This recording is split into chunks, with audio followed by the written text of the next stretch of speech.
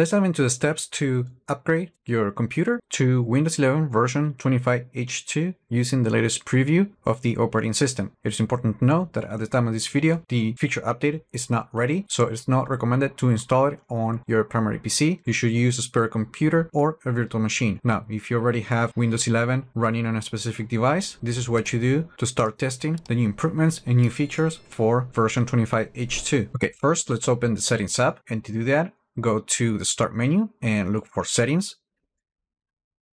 Then we're going to go to Windows Update. Then we're going to go to Windows Insider Program and then click the Get Started button. Click the Link Your Account button, select your account, click Continue, and now select, now in here, select the insider channel. At the time of this recording, the dev channel is the only one that includes previews for version 25H2. Depending on when you're watching this video, you might want to choose a different channel, such as beta or release preview. You can always check the video in the description to the link to written instructions on how to do this with update details about version 25H2 and the Windows Insider program. Click continue, click continue, click continue, and click the restart now button.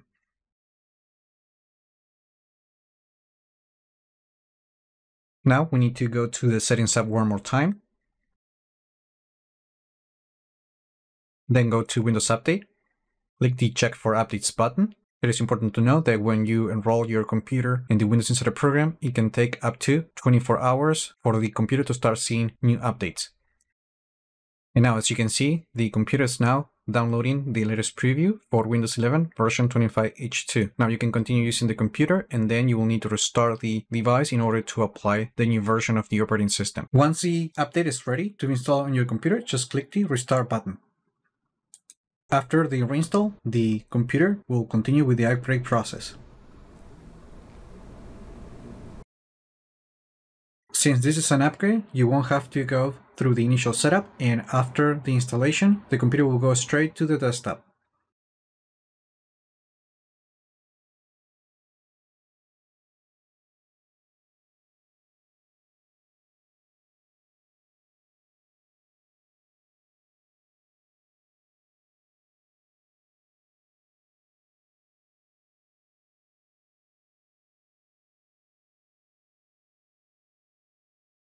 And that's it. We completed the upgrade to Windows 11 version 25H2. We can confirm installation by going to the Settings app and then on the About page, we should now see version 25H2 installed on the computer with the latest preview build available through the dev channel in this case. Now, here are a few things to consider. If we go to the Windows Insider program, if you want to stop preview builds from the dev channel, you're going to notice that the option is not available. And at this time, if you want to roll back, you will have to do it through a clean installation process. Now, if it's been 10 days since the upgrade, we can go to System, Recovery, and from here, you can use this option to revert to the previous version of Windows 11, and that will uninstall version 25H2 from your computer. Now, if you want to change channels, it is an option that you can do. However, Right now, you can only go from the dev channel to the canary channel. And that's it. That is a quick way that you can upgrade your spare computer or a virtual machine already running Windows 11 to version 25H2 on the preview stage, more specifically in the dev channel. Let me know in the comments if you plan to upgrade to version 25H2 during the development stage